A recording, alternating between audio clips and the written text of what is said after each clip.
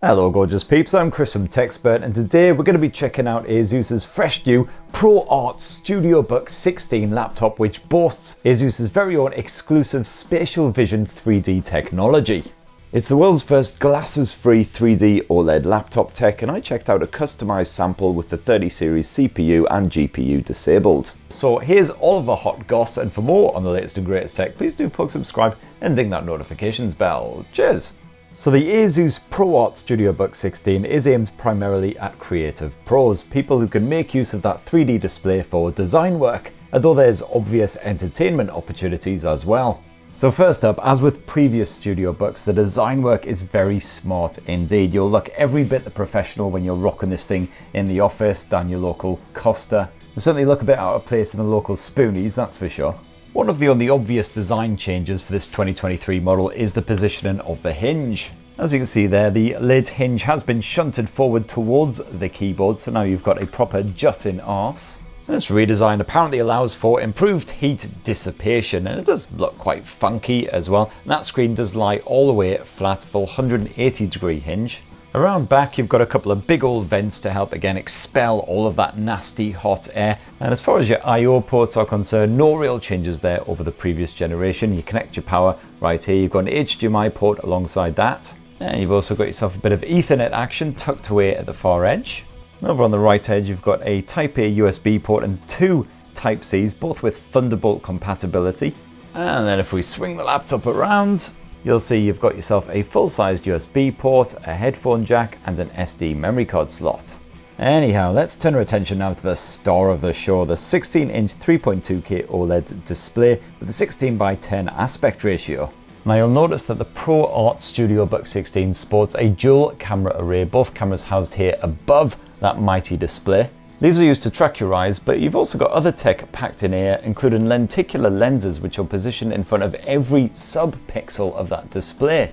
Unfortunately, for obvious reasons, it's really difficult to demonstrate this groundbreaking 3D technology to you lovely folk at home, but I'm going to try my best all the same using this highly technical device here. First of all, let's just pop this out, there we go. And for anyone who's interested, we will actually be selling these later through the Tech Spurt gift shop. Surprise your lover makes an excellent Valentine's Day gift. So what we'll do is the camera lens will just poke straight through my gaping mouth hole, while the laptop's camera lenses focus on my doppelganger's cold, lifeless eyes.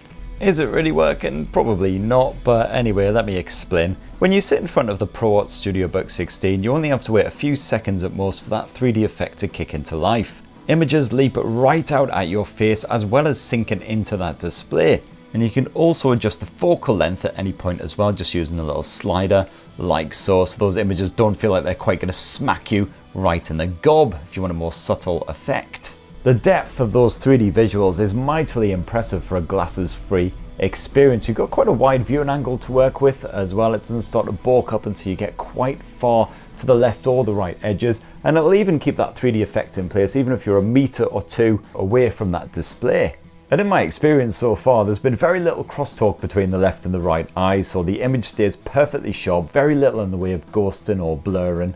The likes of Steam VR is supported by Spatial Vision, and Asus is even hoping that movie studios will start developing content expressly for this platform. In fact, they're apparently even tapping up Mr. Cameron about the possibility of getting a Spatial Vision version of Avatar 2 on the go. And 3D content can be retroactively fitted to work with Spatial Vision, but it's not quite as impressive an effect as stuff that's actually designed to work with it. And when you are enjoying some 3D content, you can at any point toggle it between 3D and 2D, at which point the panel just acts exactly like a standard OLED display. And what an absolutely gorgeous display it is as well. You've got a 3200 by 2000 pixel resolution finish here, so nice, crisp, detail-packed images. And as you'd expect from an OLED panel, deep blacks, accurate color reproduction, full HDR support here as well, thanks to that nice sharp contrast and it maxes out at 120 Hz as well, so ideal for creative content, good bit of gaming, all that good stuff. This 2023 model of the ProArt StudioBook 16 also sports a larger 16 by 10 aspect ratio touchpad to match that screen. And as you can see, this now comes with integrated mouse buttons as well, rather than separate efforts, but you've got haptic feedback, so you know exactly when you are pushing on those. And you've also got MPP 2.0 stylus support on that touchpad if you want to get all sketchy. And yes, that glorious ASUS dial is also back in action as well. Mechanically, it hasn't changed at all over the previous generation. You can still twiddle and poke as merrily as you like. And this can be used to control pretty much all of your favorite apps now as well. So for instance, you can use it for the media controls. Or if you browse on the internet, you can even use it to cycle through all of your open tabs or jump directly into your favorite tab. You can even use it, for instance, to control individual features here on YouTube. So you can skim through a timeline, you can change the playback speed.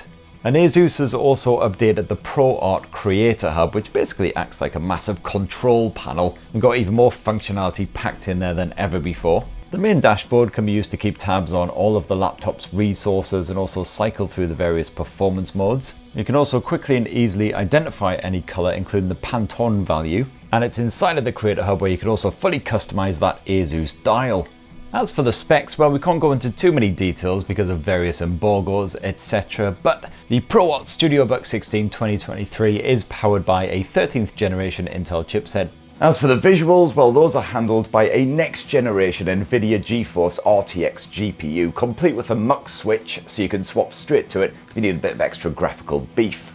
You've also got yourself an improved cooling system, which increases the intake through that keyboard, and Asus has still fitted a good bit of liquid metal cooling for that CPU.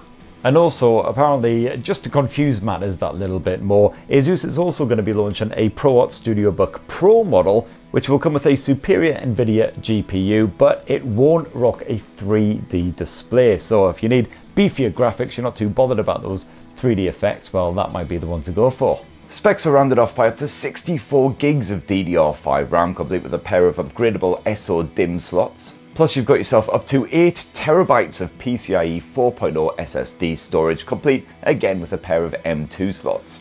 So that right there, in a lovely little nutshell, is the fresh new ASUS ProArt StudioBook 16, rocking that innovative 3D tech courtesy of ASUS's Spatial Vision. It'd be great to hear your thoughts on this bad boy down in the comments below. Please do poke, subscribe and ding that notifications bell for more on the latest and greatest tech and have yourselves a ruddy wonderful rest of the week. Cheers everyone, love you!